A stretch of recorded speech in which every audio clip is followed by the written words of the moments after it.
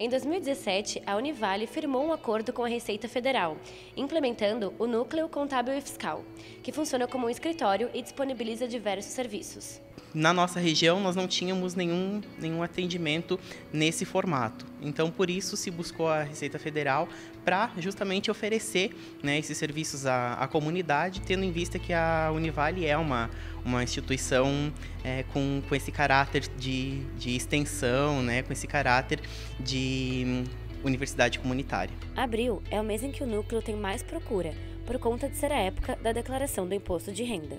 A procura maior acontece sempre nessa época do imposto de renda.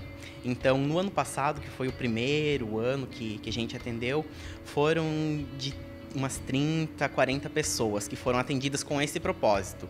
É, e aí, no decorrer do ano, a procura é menor, mas aí são dúvidas mais pontuais em relação ao MEI, é, em relação às próprias outras questões de com CPF, pessoa jurídica. O Núcleo de Apoio Contábil e Fiscal realiza atendimentos de pessoa física e jurídica, mas não anula o trabalho do contador.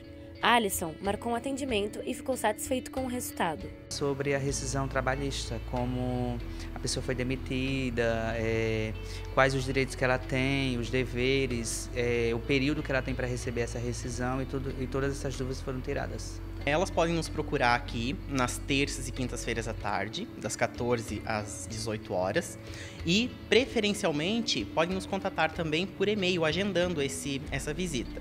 O e-mail é naf@univale.br, que aí a gente consegue ajustar na, na agenda, já ter é, qual o serviço que a, que a pessoa precisa e assim poder prestar um melhor atendimento a ela.